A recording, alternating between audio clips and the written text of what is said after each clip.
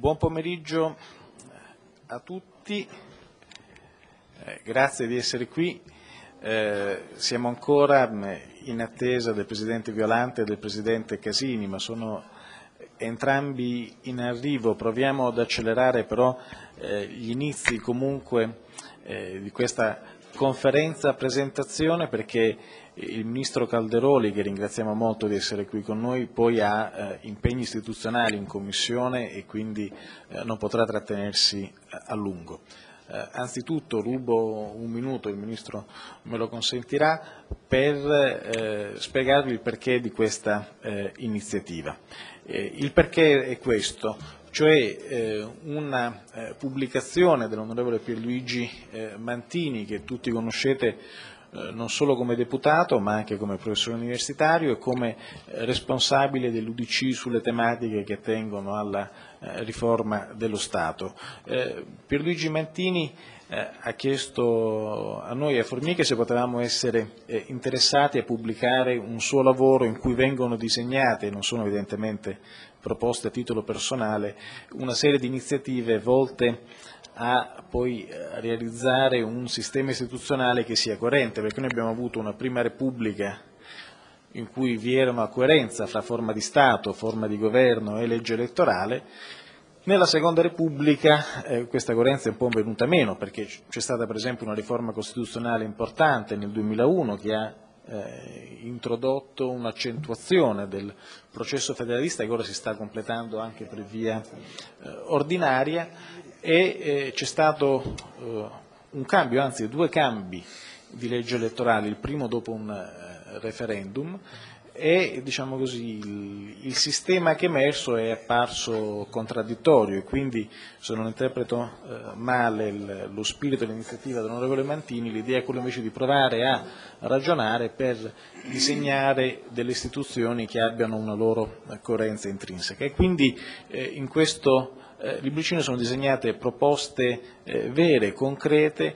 di eh, riforma che vanno dagli aspetti più direttamente costituzionali, compreso per esempio il Senato federale, fino al tema della legge elettorale. Tema, e vengo quindi al Ministro Calderoli, che dire, è di attualità sempre nel dibattito politico, ma credo lo sia particolarmente in queste ore, saluto il Presidente Violante.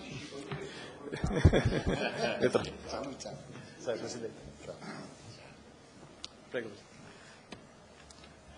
No, io, Presidente.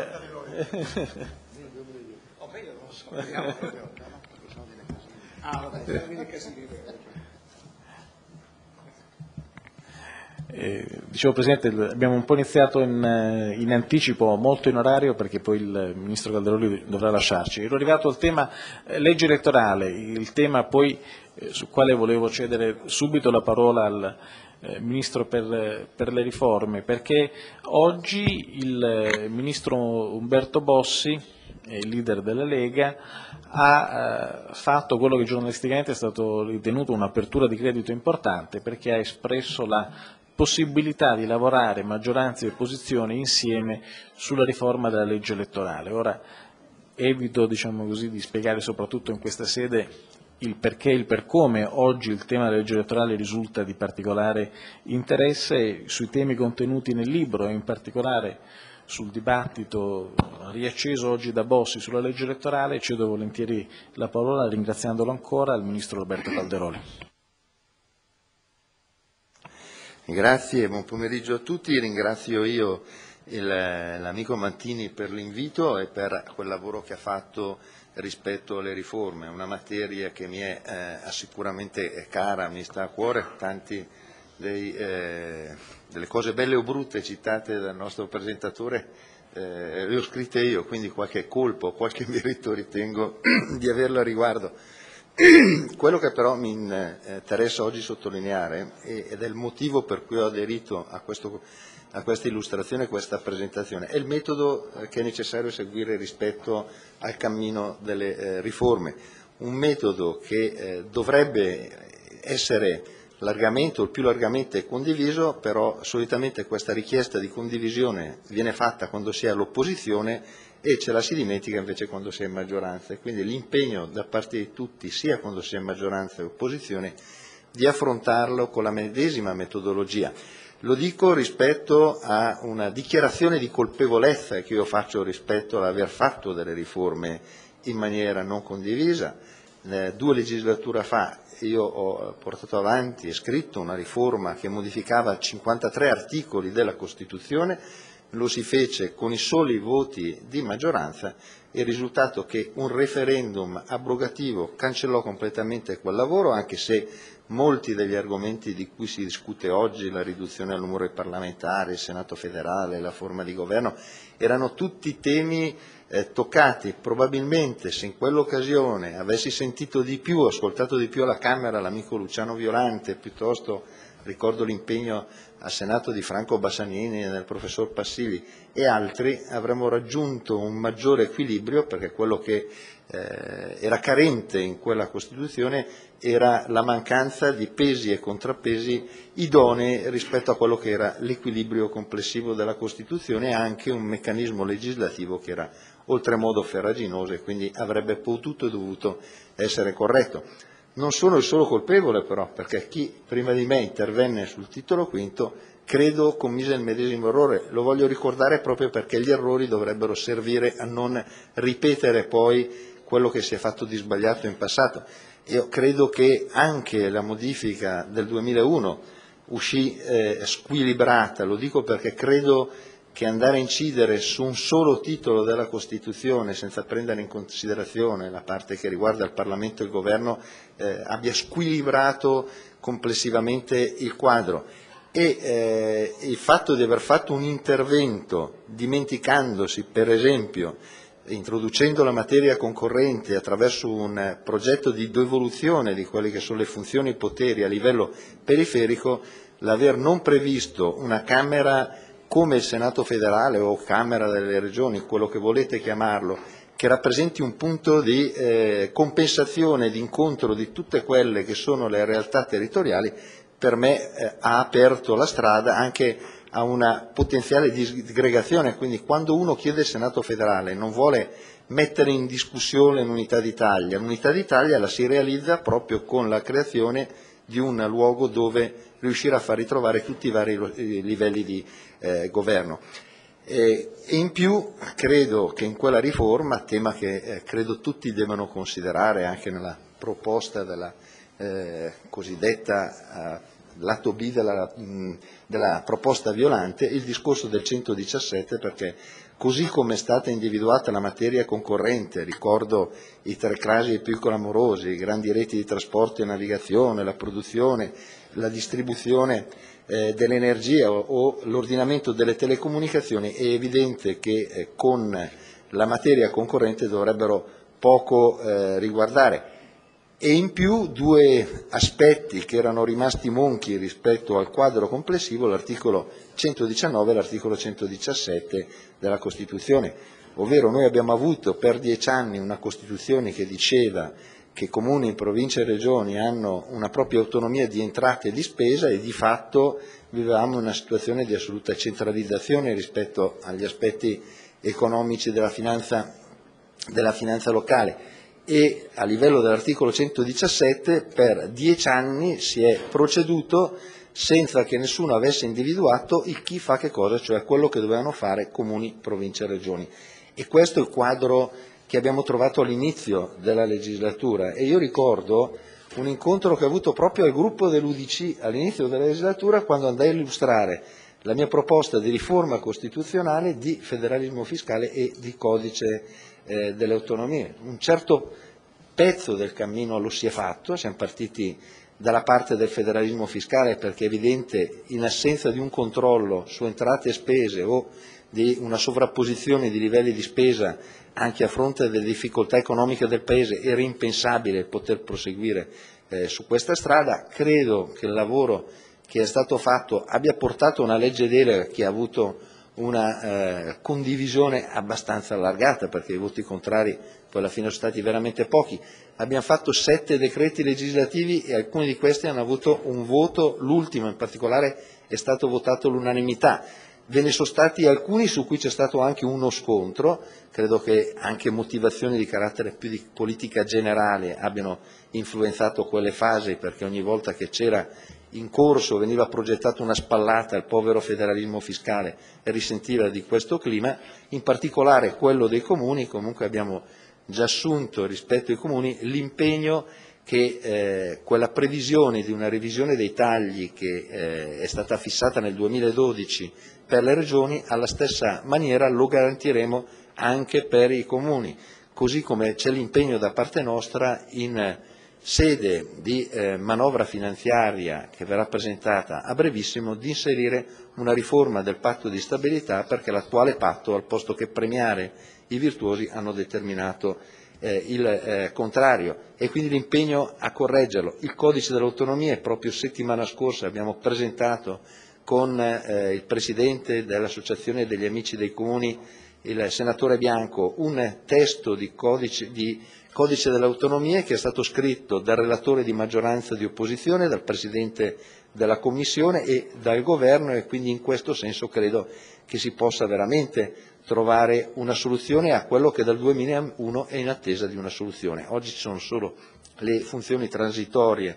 nella legge del federalismo fiscale e basta. Chiuso il cerchio del 117 e del 119 è evidente che poi arrivi al gatto che si moda la coda del fatto di non aver fatto ancora la riforma eh, costituzionale. Io, come avevo anticipato, avevo presentato all'inizio della legislatura quel testo perché ritenevo che fosse uno dei temi principali di questa legislatura, ne sono ancora assolutamente eh, convinto. Vedo dai più presentare proposte che vanno nello stesso senso, non credo ci sia più nessuno contrario alla riduzione del numero dei parlamentari, credo che eh, si debba parlare di un rafforzamento dei poteri dell'esecutivo, ma accanto a un rafforzamento dei poteri di controllo del Parlamento perché è indubbio che oggi il governo, per poter governare, chiunque vi sia alla guida del Paese, deve utilizzare lo strumento della decretazione d'urgenza, deve ricorrere a dei voti di fiducia continui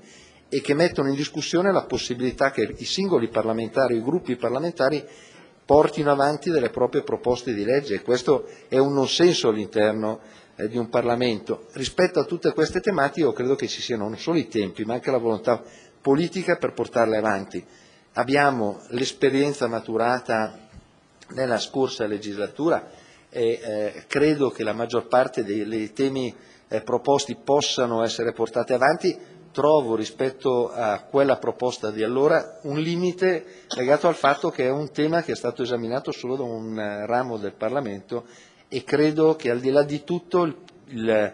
le difficoltà maggiori noi le troveremo dovendo affrontare il problema di cosa farà il Senato federale, di quali saranno le sue funzioni, quali materie tratteranno, perché è evidente che i senatori sono scarsamente disponibili a venire considerati una Camera di serie B. Io eh, sono alla terza legislatura di Senato, quindi ho maturato anche una certa sensibilità sotto eh, l'aspetto di quello che potrebbe essere l'assenso o il dissenso dei senatori. Credo che la proposta che noi dovremmo portare loro non sia una Camera alta, quella dello Stato, e una Camera bassa, quella eh, della Camera dei Deputati, e una Camera bassa, quella del Senato di serie B. Io credo che dovremmo individuare una sorta di specializzazione delle due Camere per cui uno fa una cosa e uno eh, ne fa l'altra, ovviamente eh, ricordando la difficoltà di una Camera che comunque non esprime una fiducia al Governo e quindi di individuare sapientemente quelle che sono le materie che dovrà trattare il Senato senza mettere in difficoltà l'equilibrio dell'esecutivo o i conti pubblici. A conclusione di tutto questo allora sono d'accordo che la legge elettorale diventi non una eh, esigenza, diventa un obbligo assoluto, perché nel momento in cui andiamo a modificare per numeri la Camera dei Deputati e completamente la natura del Senato, la legge elettorale eh, sarà una cosa obbligatoria. In questi giorni ho visto in, iniziative referendarie, ho visto proposte di legge che vengono eh, presentate. Io credo che una maggior riflessione rispetto alla legge elettorale debba essere fatta, perché io nella passata legislatura ho cercato, stando all'opposizione, l'ampia condivisione non l'ho trovata, ecco, però ho visto anche che non è possibile pensare a fare una legge elettorale se lo stesso gruppo politico presenta 4 o 5 proposte di legge eh, differenti. Ormai credo che abbiamo davanti dal Provincellum al,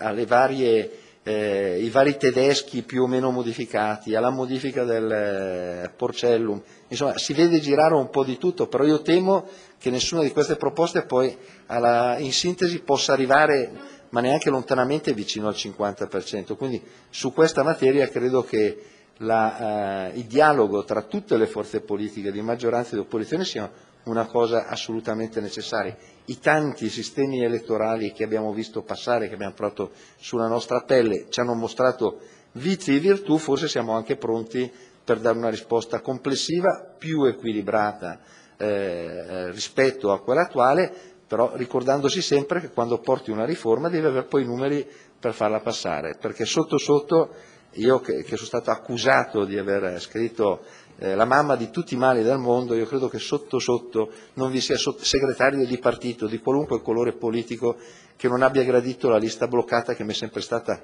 sollecitata. È una sì, è che non ci sono i segretari di partito perché si tengono, si tengono ben nascosti, però io credo che il Parlamento, io parlo fuori dai denti, un Parlamento che è stato eletto con le liste bloccate abbia una certa diffidenza nei confronti di qualsiasi altro sistema possa mettere in dubbio il proprio futuro e quindi o si parte con un consenso che raggiunga il 75-80% del Parlamento oppure il Porcellum avrà 10 o 15 vite. Grazie.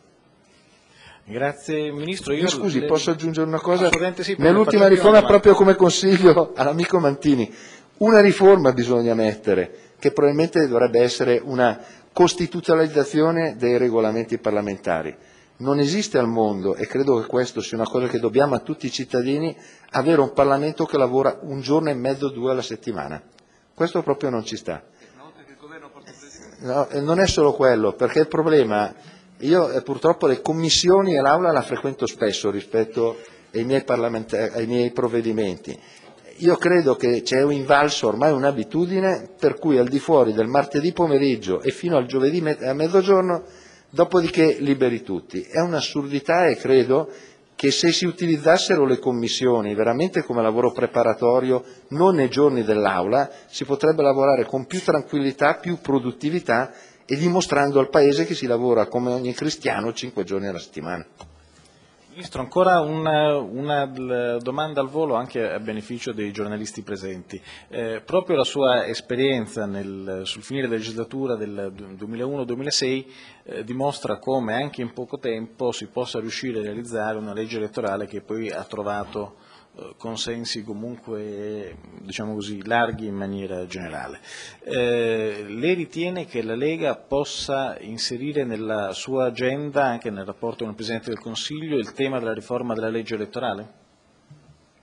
Adesso non è che voglia citare Pontida che è troppo fresca per però quello che io ho in testa, ma rispetto all'esperienza del passato, la riforma dei 53 articoli della Costituzione è stata fatta in 14 mesi, il tempo che io ho sottoposto al Presidente del Consiglio sono 15 mesi, quindi con qualche giorno in più e è molto eh, minore rispetto a quella precedente. Abbiamo davanti 18 mesi, io credo che due mesi o tre siano un termine temporale corretto per affrontare una legge elettorale, la legge elettorale solitamente precede immediatamente il voto perché in qualunque momento della legislatura tu la faccia ci sarebbe un Parlamento non legittimato in presenza di una nuova legge elettorale e quindi temporalmente andrebbe proprio ad essere affrontato subito prima delle elezioni del 2013. Abbiamo davanti 18 mesi di governo e di legislatura, o li si fa rendere oppure non ne va proprio la pena. La ringrazio per il suo ottimismo e la ringrazio anche della sua presenza. Buon lavoro. Grazie. Grazie.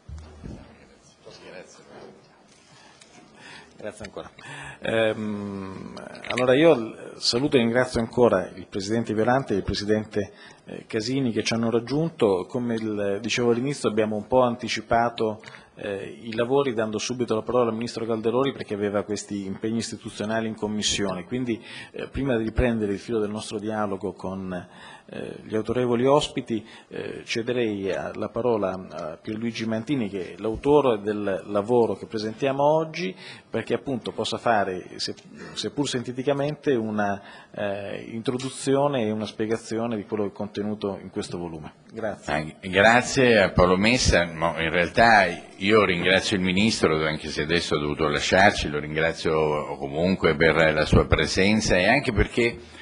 ha, eh, mi ha sollevato dal compito diciamo, ricostruttivo perché il suo intervento è stato appunto ricognitivo su, sui lavori di questo decennio. E il punto è proprio questo, questo volumetto insomma, presenta in realtà le proposte che nascono nell'ambito dell'Unione di Centro ma con molti contatti e rapporti, approfondimenti con mondi universitari, fondazioni, il senso è, è quello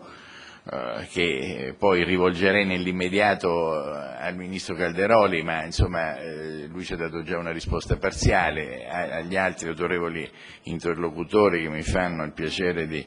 di essere qui e di discutere. Insomma, il punto è però per il, tutto il Paese c'è la possibilità di un cambio di agenda delle riforme per recuperare questi decenni di riforme, grandi devolution, la bozza violante, cui largamente ci ispiriamo per una parte almeno di queste proposte, pur con qualche correzione, cioè tutto questo lavoro per l'ammodernamento delle istituzioni. Eh, la nostra tesi, rinvio naturalmente per gli approfondimenti per essere breve, eh, è semplice, molto chiara, ma anche con una sua forza, mi permetto di dire. Eh, noi se vogliamo tagliare il traguardo di Europa 2020 vincendo le sfide difficili che l'Italia ha dinanzi e che solo per citarne uno, insomma, il, suo, nella sua ultima relazione il governatore Draghi ci ha ricordato con una certa precisione, dobbiamo avere istituzioni più efficienti, meno costose, e soprattutto dobbiamo avere una legge elettorale che consente di avere un governo autorevole, ma non perché basato sul un voto in più destra contro sinistra, ma perché eh, basato su larghe eh, alleanze intese tra forze nazionali che consentono appunto lo sforzo e l'impegno che abbiamo dinanzi. Quindi non è il libretto diciamo, semplicemente una raccolta dei materiali più maturi, ha un solo pregio che non va scritto al sottoscritto appunto, è quello di essere diciamo, ricognitivo di proposte di legge già presentate in Parlamento. Quindi è un tema, diciamo, non è un'analisi di scenari, un'elencazione di, ma una rassegna di proposte.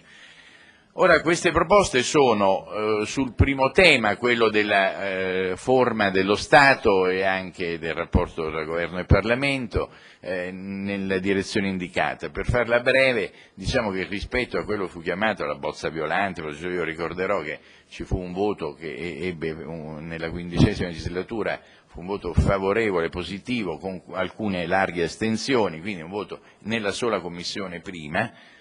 qui in un testo largamente condiviso, lì per indicare solo due cose, insomma, ci permettiamo come dire, di, di avere una visione un pochino più rigida, rigorosa del tema dell'interesse nazionale. Il Ministro Calderoli ci ha detto un sì alla necessità che queste riforme vengano riprese, quindi implicitamente io devo dedurre che non c'è più forse l'ossessione della grande epocale riforma solo sulla giustizia, ma ci sono anche questi temi eh, che hanno un'urgenza e che il Paese non può abbandonarsi dietro le, le spalle facendo finta di aver scherzato per, per oltre dieci anni. No? Ecco. Noi riteniamo che eh, per esempio il Senato non debba aspettare al Senato federale o delle autonomie anche la scrittura dei principi fondamentali che presiedono la legislazione regionale, ma riteniamo rispetto a quel testo che fu definito violante, eh, di eh, eh portare questa competenza nella sola Camera nazionale politica, cioè nella Camera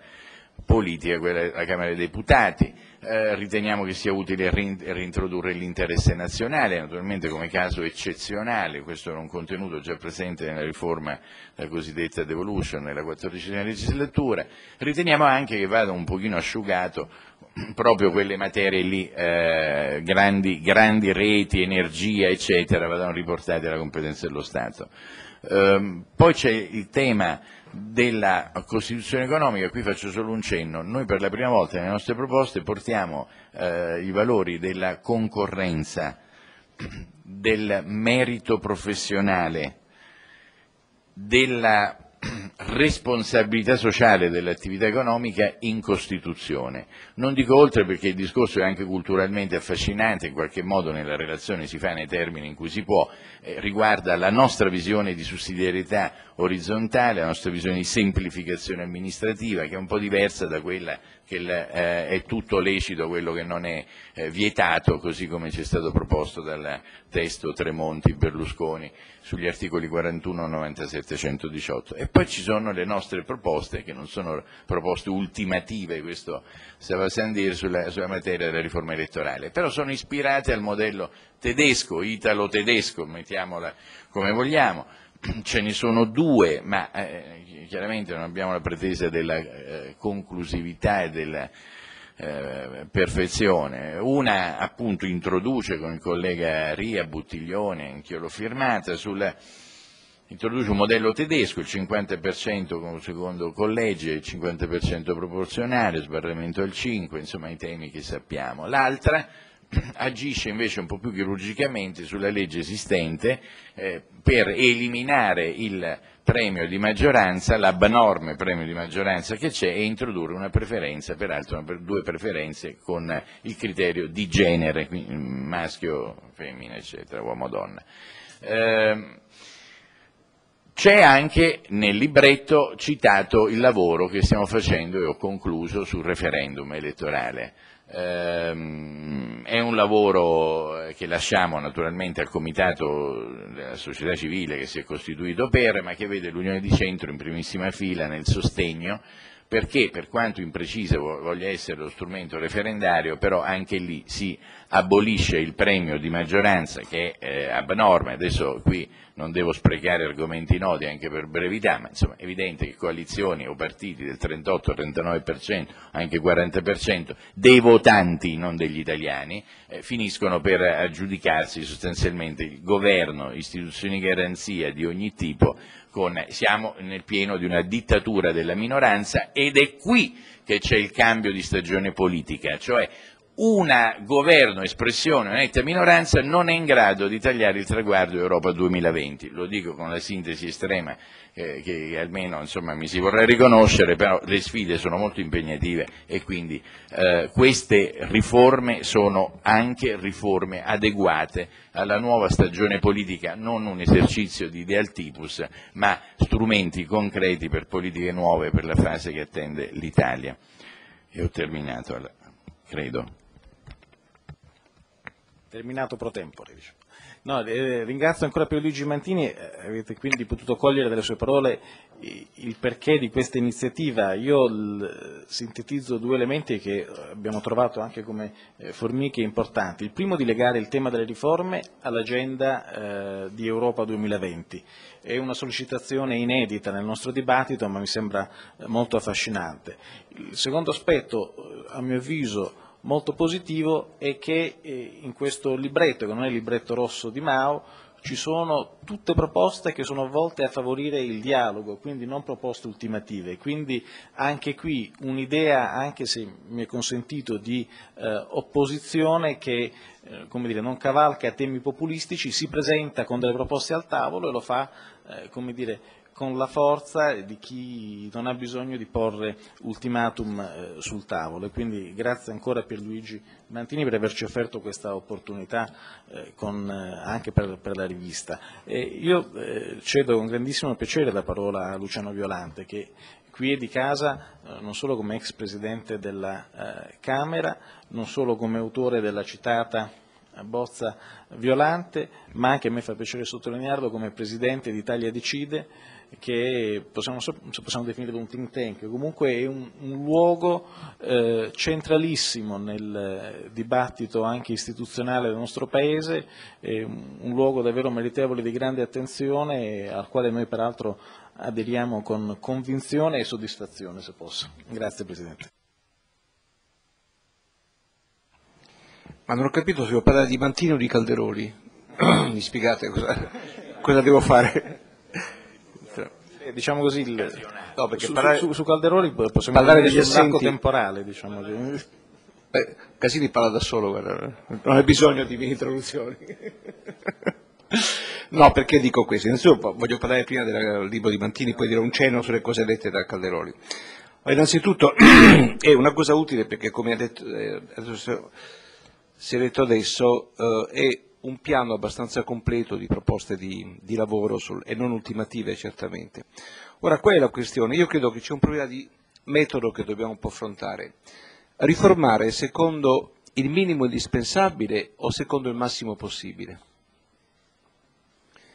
Eh, io credo che bisogna lavorare secondo il minimo indispensabile nel senso che la riforma che fu fatta dal centrodestra 2001-2006 aveva invece il massimo possibile. Eh, quella proposta dalla Commissione bicamerale presieduta da Lema lo stesso, ma quel tipo di riforme sono riforme, guardate, che si reggono sullo scambio permanente tra parti politiche, non su un asse di riforma,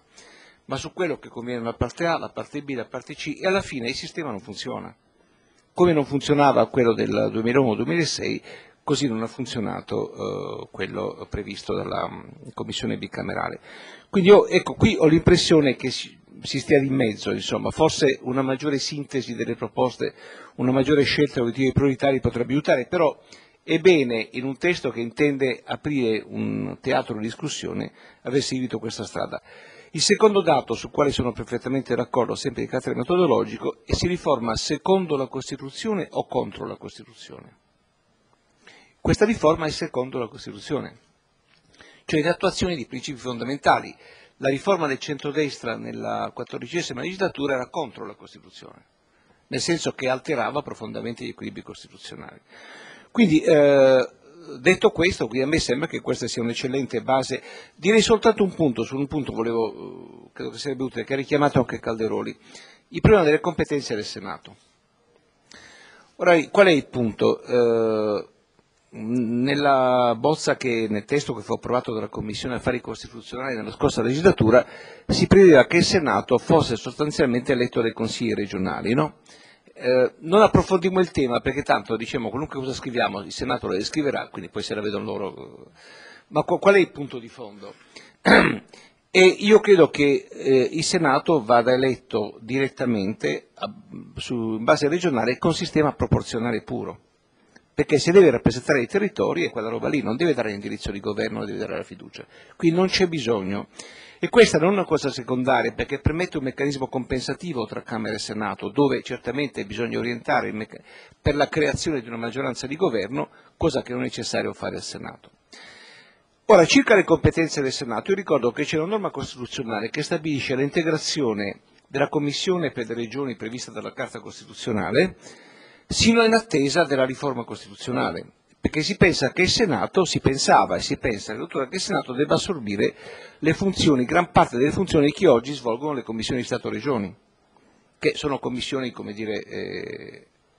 un po' come dire, vivono nell'oscuro.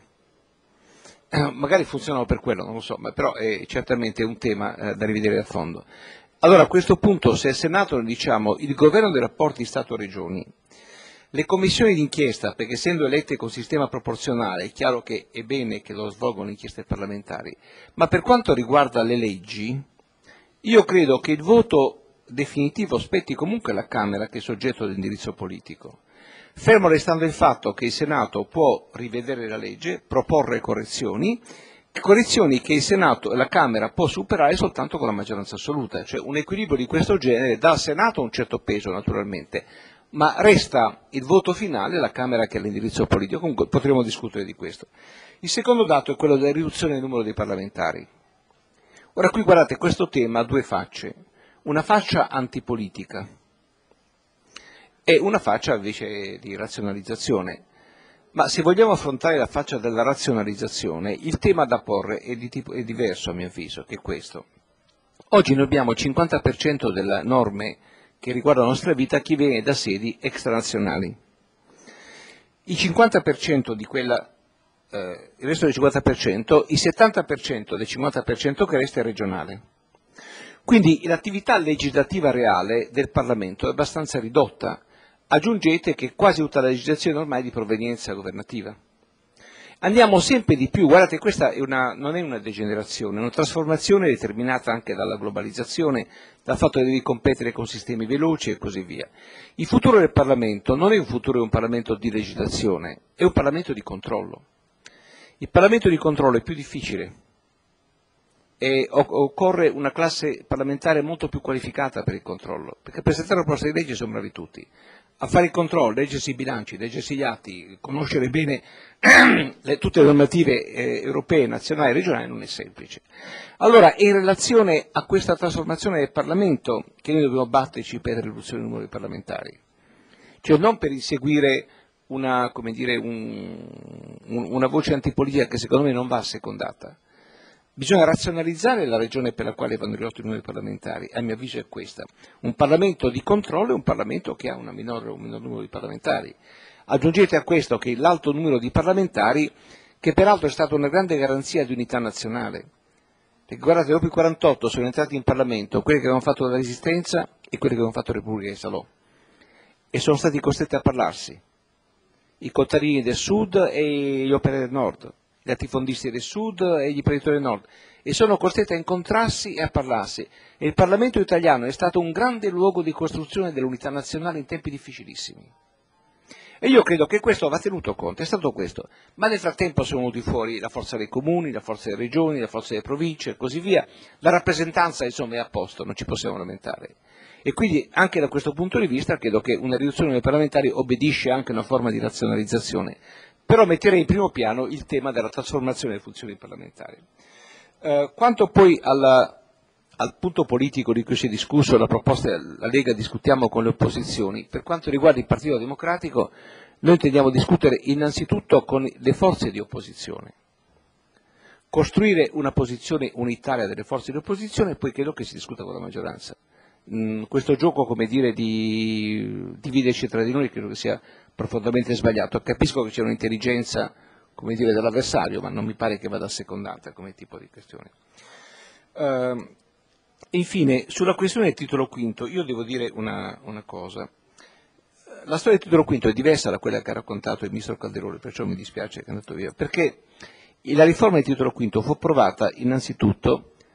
eh, dalla Camera eh, nel testo della commissione bicamerale, poi eh, fu approvata dal, da Forza Italia, da Enne, non dalla Lega che votò contro e da tutto il centro-sinistra. E credo anche l'UDC lo avesse votata. Allora. Uh, dopo, di, dopo cosa è accaduto? Uh, è accaduto che Berlusconi ha ritirato il sostegno alla riforma, il uh, processo si è chiuso, elezioni del 2000, elezioni regionali, vince il centrodestra, presidente della conferenza dei presidenti di regioni e presidente Ghigo di Forza Italia, il quale chiede che il Parlamento approvi definitivamente la riforma federale. Uh, i, tutti i presidenti in maggioranza di centrodestra chiedono questo. Ci si riunisce, eh, allora facevo il Presidente della Camera, si riunisce i capigruppo, si chiede cosa vogliono fare, si dice no, il centrodestra dice no, lo faremo noi quando vinceremo le prossime elezioni. Gli altri dire, insistono su questo terreno, noi riteniamo che fosse giusto eh, assicurare questo, questo, percorso. Voglio dire che è diverso questo percorso da quello della riforma della legislatura successiva, quindi non ci fu nessuno che premeva. Tanto infatti che mentre la riforma del Toro V è stata confermata dal referendum, la riforma del centrodestra è stata bocciata dal referendum, quindi ecco, solo per ricordare che l'itinerario è completamente diverso. L'ultima questione che dobbiamo porre, ci sono i tempi per questa riforma? Ecco, io non lo so, io credo di no, francamente. Credo che però sia molto utile che tutte le forze di opposizione cominciano a discutere dei punti comuni su quali occorre rivedere l'ordinamento costituzionale, sempre secondo il principio del minimo indispensabile, con questo io insisterei, ma eh, che si cominci tra di noi sulla base di opere preziose, come quella di cui discutiamo stasera, a mettere insieme i tasselli di un ordinamento costituzionale diverso dall'attuale, secondo i principi della Costituzione, modernizzando gli stessi, io credo che sia un compito che deve impegnare tutti quanti noi. E comunque, ripeto, non siamo disponibili ad un discorso, come dire, eh, eh face to face, a due, con nessun esponente della, della maggioranza, se non dopo aver fatto, aver avuto una posizione comune tra le forze dell'opposizione. Grazie Presidente Violante anche per aver espresso con eh, chiarezza e trasparenza un'opinione molto precisa su quest'ultimo punto, cioè della eh, collaborazione fra le opposizioni, prima ancora che fra opposizioni e maggioranza. Io a questo punto cedo volentieri la parola per Ferdinando Casini e non me ne vorrà se non ho bisogno di fare nessuna presentazione particolare per lui. Eh, la prudenza istituzionale a cui si richiama Mantini mi sembra una virtù, eh, eh, mi sembra una virtù perché è bene far riferimento a prudenza istituzionale quando si tocca la Costituzione, l'assetto dello Stato, segnalo il rischio che eh, di questi tempi la prudenza istituzionale possa degenerare in paralisi istituzionale, perché questo certamente è ciò che noi cerchiamo di evitare tutti i giorni in Parlamento. Eh, io penso una cosa, primo, che è necessario che maggioranza e opposizione, come è stato fatto oggi, si confrontino nel merito dei problemi partendo da un'agenda di cose ineludibili. Siamo l'unico paese del mondo in cui c'è il bicameralismo perfetto, non vi è in nessun altro paese del mondo. Allora, poiché siamo in periodo di federalismo, penso che il Senato delle Regioni non possa che essere il punto di riferimento principale della nuova struttura federale dello Stato italiano. Eh, dobbiamo dimezzare il numero dei parlamentari per dare un segnale concreto all'opinione pubblica. Io credo nel Parlamento, credo nella centralità del Parlamento come nel nostro sistema costituzionale si scrive, ma se vogliamo difendere la centralità del Parlamento dobbiamo saper adeguare il Parlamento lo dico qui in presenza di Violante, facendo io riferimento sempre, come ho fatto la scorsa settimana in una lezione alla Sapienza, la riforma dei regolamenti parlamentari, che secondo me è stato un punto fondamentale in termini di capacità di riforma che il nostro Parlamento ha segnato sotto la Presidenza Violante. Dopo ci sono stati dei tentativi, ma non hanno prodotto a niente. Tutti i Presidenti della Camera pro tempore hanno sollecitato la necessità io mi ricordo, ad esempio, anche un tentativo nella Giunta del Regolamento di stabilire le fattispecie per l'adozione del voto segreto, ma non siamo mai riusciti a toccare queste riforme dei regolamenti parlamentari né a fare altra strada. Eh, penso che oggi sia necessario dare un segnale all'opinione pubblica, difendiamo la centralità del Parlamento sapendo innovare ciò che non funziona dobbiamo arrivare all'adozione di un provvedimento drastico che dia un segnale all'opinione pubblica e che nello stesso tempo difenda il vestito istituzionale che abbiamo. Allora, riforma del bicameralismo, Senato delle autonomie, sfiducia costruttiva e poi il tema della legge elettorale. Ora, leggo testualmente nell'agenzia di stampa che mi è appena pervenuta, adesso scusatemi perché la tecnologia è tiranna, come ciascuno di voi sa, Bossi sulla riforma della legge elettorale si può fare un'intesa con l'opposizione. Bossi apre a sorpresa, il dialogo con le modifiche alla legge elettorale, una cosa su cui si può ragionare, si può fare l'accordo. Bene, le parole di Bossi e quello che ha detto Calderoli mi confortano su un tema, la legge elettorale deve uscire dall'agenda della maggioranza o dell'opposizione, l'agenda la dobbiamo concordare insieme e trovare il modo di fare una legge elettorale che eh, anzitutto restituisca ai cittadini lo scettro debbono essere gli italiani a decidere i propri parlamentari, non possono essere cinque persone che scelgono mille parlamentari. Che questa sia un'esigenza all'ordine del giorno è dimostrato anche dall'iniziativa dell'onorevole professor Passigli, che è qui presente, dei referendari, loro cercano sostanzialmente, in presenza di un'assenza della politica legislativa, di supplire con un'iniziativa referendaria. È certo che se non ci saranno altre strade l'iniziativa referendaria rimarrà l'unica opzione, ma io credo che noi abbiamo il tempo, se c'è la volontà, e la presentazione da, o la discussione, forse è stata anche presentata la proposta del PD, la proposta del PD è stata presentata formalmente. No, no, d'accordo. Però è stata, cioè la discussione che ha aperto il Partito Democratico sulla legge elettorale, le parole della Lega, le esigenze del movimento referendario poste sul tavolo e oggi questa iniziativa di Mantini ci dicono che la legge elettorale deve essere ma, al primo punto all'ordine del giorno. La legge elettorale è matura, possiamo restituire la libertà di scelta degli, degli eletti ai cittadini italiani, possiamo evitare certe storture. Noi siamo l'unica legge elettorale che prevede uno sbarramento e un premio di maggioranza. Io credo che sia importante continuare a prevedere lo sbarramento, perché non possiamo tornare all'Italia della Prima Repubblica con 50 partiti presenti in Parlamento. Ma mi chiedo, l'aver inserito la lo sbarramento ha di per sé garantito che in Parlamento ci siano meno partiti? No, perché se noi oggi prendiamo il numero dei gruppi parlamentari o dei micropartiti presenti in questo Parlamento, io penso che già nella maggioranza ci saranno almeno una decina di partiti o pseudopartiti. Vuol dire che le cose non funzionano. Ad esempio, un altro punto fondamentale è quello di prevedere che si possono costituire nelle Camere, Camera dei Deputati e Senato, solo gruppi parlamentari emersi dal responso elettorale. Chi non si è presentato come partito alle elezioni non può poi fare dei partiti fittizi magari generati per trasformismo nella sede del Parlamento, perché questo dà un'immagine pessima alla politica, consente anche, diciamo così, la moltiplicazione delle spese delle strutture parlamentari, che è una cosa ridicola, per cui io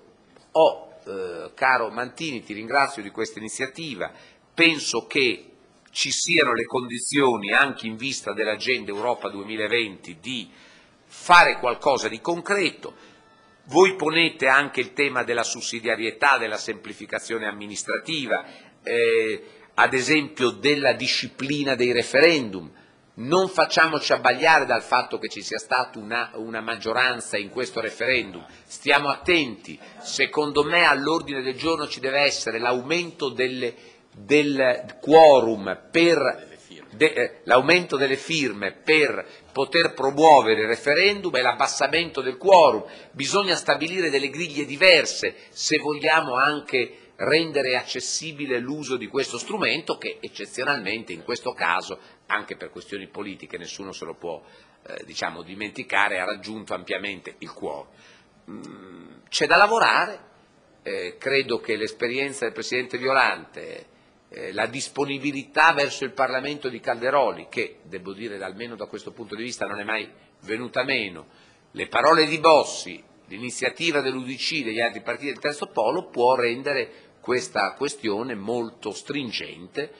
e dobbiamo, anch'io ho qualche scetticismo come Luciano sulla possibilità poi che in questa scorcio di legislatura si possa materializzare un risultato,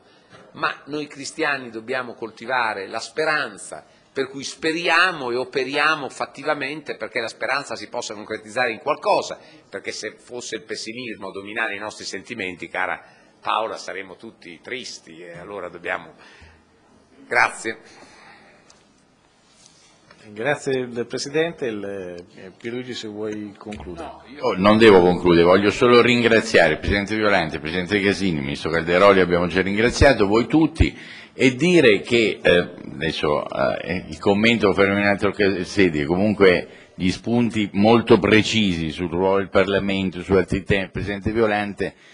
saranno tutti ben meditati, approfonditi, ma eh, colgo un solo dato dalle sue parole. Sì, in effetti questo è un lavoro che vale per l'oggi, per il dialogo con le forze politiche che ci sono e vale anche per il domani, cioè